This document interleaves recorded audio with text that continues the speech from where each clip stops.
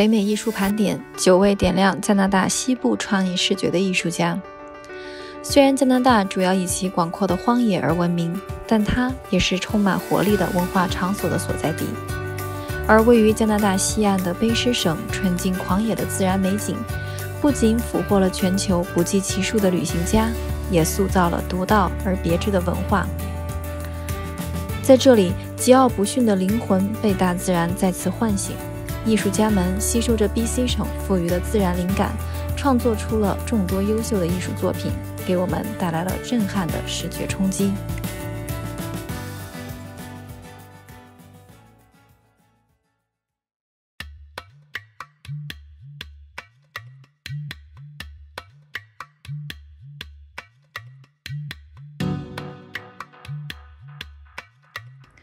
Robert Bateman 是加拿大 BC 省最负盛名的艺术家之一，对美学有着深刻的鉴赏能力，也是大自然的崇拜者。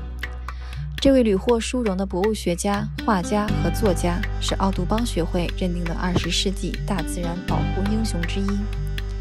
他用现实派的绘画风格表达着自己对自然的深刻理解和欣赏，也鼓励人们最大程度上去关注我们赖以生存的自然环境。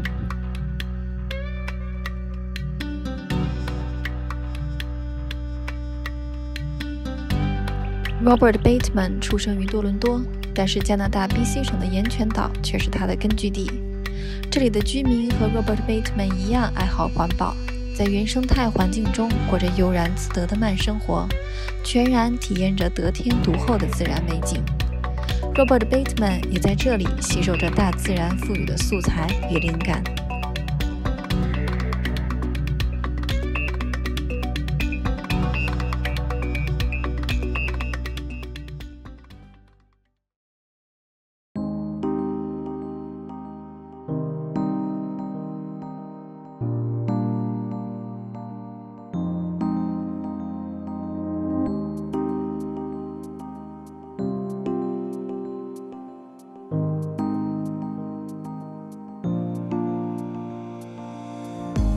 艾米丽·卡尔是加拿大第一位现代主义和后印象派画家，最著名的作品是他在前往温哥华岛、海达瓜伊等偏远原住民村庄时所制作的大胆、令人回味的画作。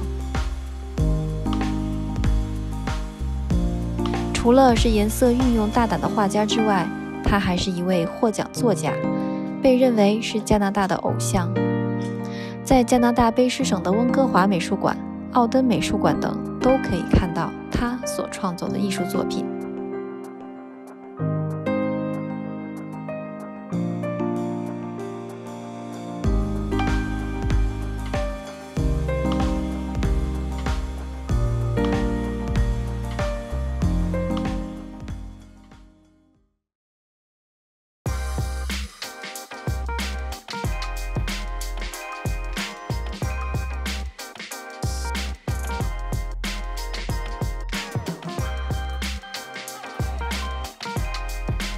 一提到道格拉斯·科普兰德，大家首先想到的可能是他卑诗省著名小说家的身份。他创造了包括《X 代》在内的很多开创性的文学作品，还出版了十三部长篇小说、两部短篇小说、七部非小说类书籍等。但是在道格拉斯·科普兰德身上有一种无穷的求知欲，他探索着艺术作品的多种流行文化。艺术家就是他的另一个身份。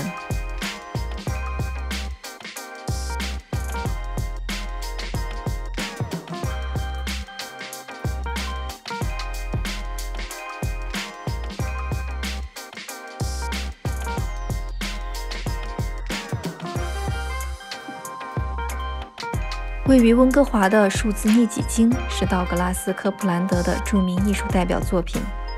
不同色块的完美堆积，成就出一份艺术界的旷世之作。如今，在温哥华周围的很多地方，也都可以欣赏到他的作品。